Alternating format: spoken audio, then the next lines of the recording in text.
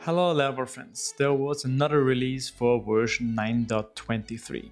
Should we check it out together? Yeah, I think so. Let's go.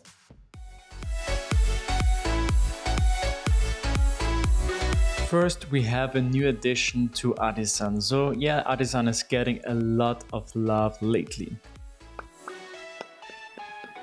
Tim MacDonald added a new PHP Artisan docs features to give you easily access to the docs through the console. With the common PHP Artisan docs, you will now get an overview of documentation topics. You can then choose one of them, one specific topic, and you will get to the corresponding page in the docs. But you can also be more specific by providing the topic right for the command itself, like PHP Artisan docs and testing, which is very nice. And we can even be more specific by adding testing and parallel and we will get to the right page under the docs. Pretty cool, right? This feature has still its limits. For example, when I was trying to look for API topics, I didn't get any results. I could look through all the given topics and maybe I would find it, but just by providing API does not help. Also, if I'm searching for something that is not given, I'm missing the arrow because I have to scroll up here again, year here. So this is a bit annoying, but I'm sure this is something that the team will work on and improve in the future. I'm a big console fan myself, so that's why I'm very happy about this new addition. Thank you, Tim.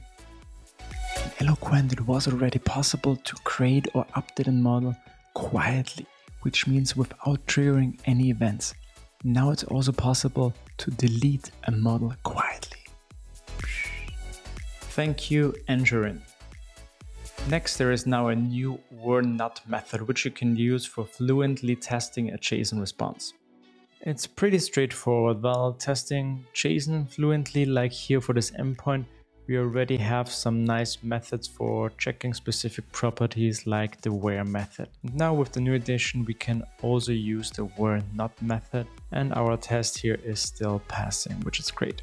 Thank you, Mateos. The next merge PR added the conditionable trait to file system adapters. In Laravel, there are many places where I can use the handy when and unless helper methods, like here in this example where we're creating a string and we're going to add outwell when this first condition is true. These methods, like this one, often come from a trait called conditionable. It only consists of the two methods when and unless. Now this trait was added to the file system adapter, so this means we can now use those methods when dealing with the storage facade. And now here we can check that we only want to delete a specific file if this condition is true. Thank you, Ralph. And last, we have no Vite features in Laravel regarding support for content security policy, headers, and more.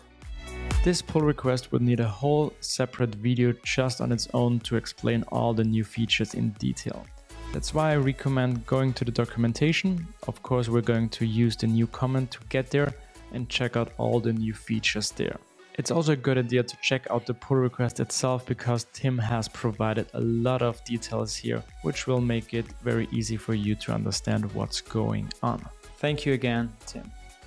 Alright, that's it for the Laravel 9.23 release. As always, have fun with the new features and see you the next time. Hello Laravel friends, there was another release in Laravel for version 9.23. 20 for MP3.